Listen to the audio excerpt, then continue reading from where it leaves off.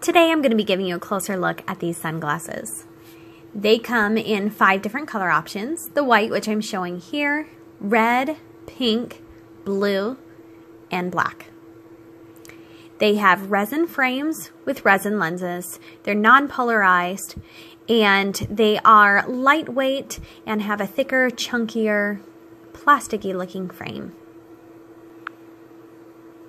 The lenses are two inches in width and the lenses are 1.69 inches in height, with the bridge being 1.02 inches.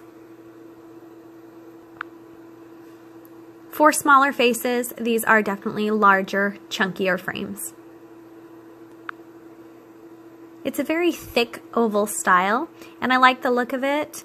Uh, not only that, you get great coverage and protection, so the sun isn't coming over top or underneath of these sunglasses while you're wearing them.